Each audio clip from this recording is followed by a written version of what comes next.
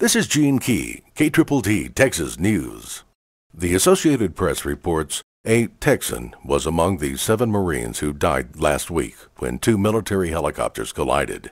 The Amarillo Globe News reported that Captain Nathan W. Anderson graduated from Amarillo High School in 1998 and was a starting linebacker in the 1997 team that made the state quarterfinals. Anderson and six other Marines died Wednesday when two military helicopters collided during a nighttime training exercise at the Yuma Training Range complex near the Arizona California border.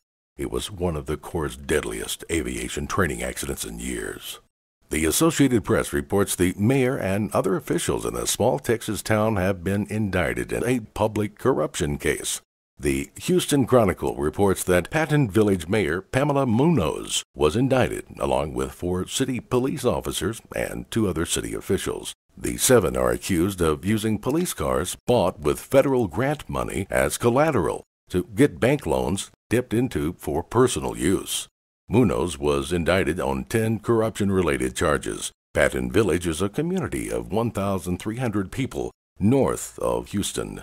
From the Associated Press, a judge in Paris, Texas, has dissolved a temporary restraining order blocking TransCanada from crossing a northeast Texas farm with a proposed pipeline to carry Canadian oil to refineries along the Texas Gulf Coast. Lamar County Court at Law Judge Bill Harris granted the pipeline company's request to end the order on Friday. The Longview News Journal reported that the landowner, Julia Trigg Crawford, who had obtained the order, contends that the company trampled her property rights and the project could harm Caddo Indian artifacts. A full trial is set for April 30th. Crawford says she disagrees with the ruling but looks forward to going to trial.